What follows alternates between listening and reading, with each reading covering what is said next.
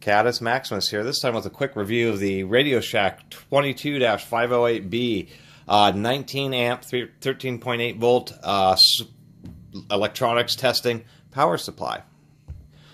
This was a little bit pricey at Radio Shack. I think it was around 50 bucks, but it was kind of handy because there are very few local places where you could find really uh, pretty high output 12 volt, or this is 13.8 volt, but power supplies that you could use to test automotive components, whether it's headlight assemblies or lighting assemblies, uh, you know, power window regulators, uh, just testing the function of stereo equipment, a variety of things because you often need lots of amps to try to test those uh, those types of uh, components, and it's always kind of difficult to find a real high output.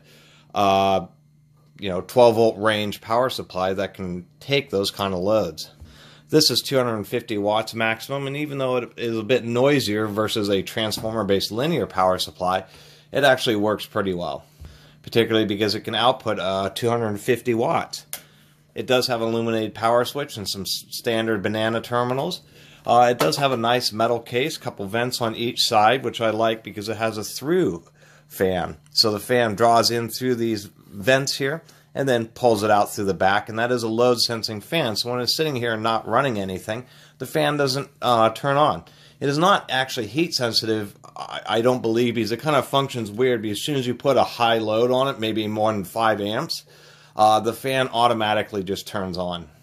But nonetheless, it works, and I think that's a nice touch. That It does have a cooling fan, but it doesn't run all the time, so it's not just annoying you, as well as wearing the fan out quicker. I did do one upgrade. I did upgrade the capacitor to the out the output capacitance just so it have a little bit of extra oomph, particularly when you're uh, testing electric motors. And it's surprising that yes, very lots of small electric motors. As soon as you turn them on, they have a surge current as it builds the magnetic field in the motor windings, and that can be 10 times uh, the normal operating current. So you really need something that has a lot of overhead, and I put in the extra capacitance to just kind of deal with those surge uh, issues. What was also what is also nice about this power supply is that it's uh, overload protected, so it knows when it's uh, dead short or it's just too low a resistance and it's going to drive way more than 19 amps and it will shut itself off and all you have to do is unplug or disconnect the load for a second and it'll automatically reset itself, and then you can try again, which makes it really convenient rather than having to reset the power supply. And so I always really like this unit. Now, one thing I kind of like to do, uh, I've been recently experimenting with, is taking like 12 volt or 14 volt tools. Let me zoom out a little bit. I have this old kind of no name Durofix. It was a 14.4 volt impact driver that a special adapter. It actually has a half inch drive anvil on there, and then it had an adapter to make it go to quarter inch. And what I kind of found handy is, you know, this thing was like two dollars, and I thought, well, I could just wire it up manually here and kind of use this power supply to drive this, and it actually has just enough power. Sometimes the power supply will cut out, but most times it runs this tool just fine. What's kind of nice about this in this situation uh, a corded style battery operated tool is it makes it very compact. It still has a decent amount of power.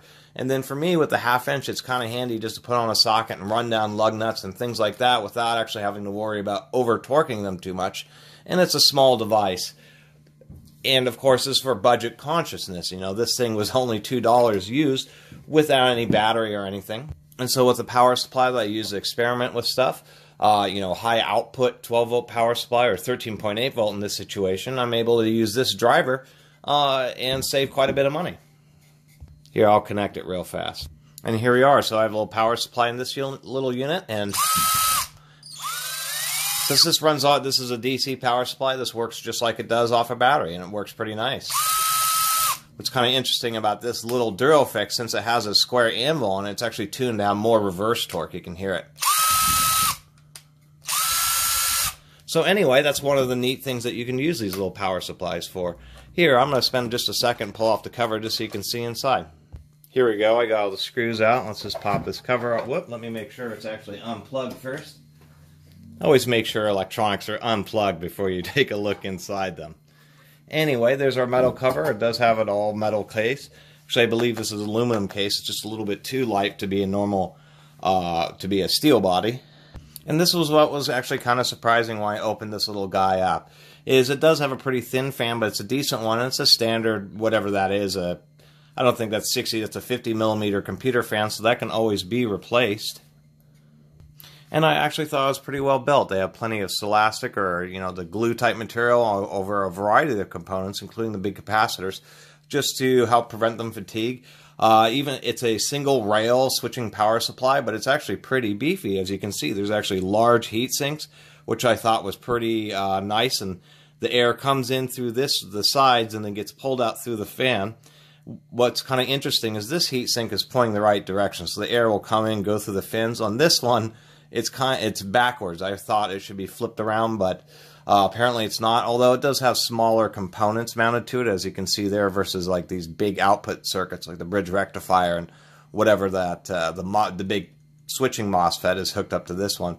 We have some large chokes and capacitance, so it actually has a surprising amount of uh, uh, input or line filtering. So I was pleased to see that. And we can see here lots of actually quite large capacitors. These are uh, the, the high voltage side capacitors, and they are 200 volt at 330 microfarads, but there's four of them, so it's actually pretty surprising. And then these are the output capacitors. This is the what would be known as the low voltage side over here. This is the input, and then this is the high voltage and switching side. There's the switching power supply. How switching power supplies are able to be so small is that they actually are using high frequency to essentially it the transformers are very small. Transformer size goes down smaller as the frequency goes up, and so actually the high voltage is switched on and off at a particular rate where the transformer steps it down and then it ends up averaging out or smoothing out to being, in this case, 13.8 volts. But they are noisy. You know, this will have 5 to 10 times as much noise, or actually could even be a 100 times. This will have several hundred millivolts of noise versus what would be considered a linear or scientific grade power supply. But overall, it's built pretty darn well. I really appreciate that they just didn't use one thin wire, but they actually have four heavy duty wires from the main outputs to the output terminals. And I thought, you know, that was pretty intelligent too. So all you can see here is that I just took another couple of wires and, and put on connectors and connected them directly to the outputs, you know, not anywhere else, but as close to where the load is going to be as possible. And put in a pretty large, you know, like a 16 volt or a 20, I think this is a 25 volt, you know, something like a 12,000 or 10,000 microfarad capacitor and then find a, found a nice little place to cinch it. And I even, you know, did the nice little shrink tubing around the wires there and shrink tubing around the whole capacitor itself just in case there was any issues. But that was just a kind of the upgrade. So I saw how robust the power supply was, and it was pretty decent inside. So I figured out it had just enough space, and I had some extra components. And that'll be more videos I do in the future when I do these kinds of upgrades to equipment, just for the fun of it. Uh, but it's always kind of nice to be able to do an upgrade where you have something that's pretty decent like this, and then you can just really uh, make it extra useful and be able to handle those kind of motor loads, which is one of the big reasons I use this is the motors and testing, you know, like car stereo equipment, maybe, you know, various other things. You know, 12 volt coolers and that kind of thing. It's kind of nice to have a power supply that you can plug in and test them with. Car inverter systems, those types of things. So I've always been real satisfied with this. Anyway, I'll go and end the review and look inside there. I really appreciate everybody watching and subscribing. And if you haven't subscribed, please do. Until next time, Catus Maximus out.